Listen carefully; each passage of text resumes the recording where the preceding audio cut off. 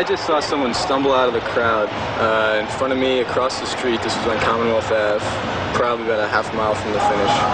Um, she was in track clothes and wearing a number, but I thought someone had just sort of stumbled into the race. Maybe somebody was a little crazy or something. Women's winner in the Boston Marathon today with a time of 2:31 and change. Now we don't know how many seconds that is. It may be a new American record. what was what was the time in your first ever marathon, and where was it? It was two hours and 56 minutes and 33 seconds in New York last year.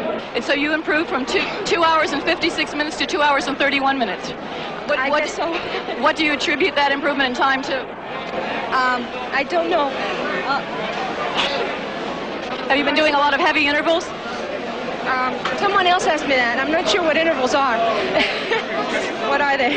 Well, intervals are, are track workouts that are designed to make your speed improve dramatically. And if you went from a 256 to a 231, one would normally expect that you'd do a lot of speed work. Is, is someone coaching you or advising you? Uh, no, I advise myself. Well, it was a fantastic performance, Rosie. Congratulations. Rosie Ruiz, the mystery woman winner. We missed her at all our checkpoints. She came through the finish in a fantastic 231. We have to confirm that time at this point, but she was way ahead of the world-class field here today in the Boston Marathon. Thank you, Rosie. Thank you. In the end, she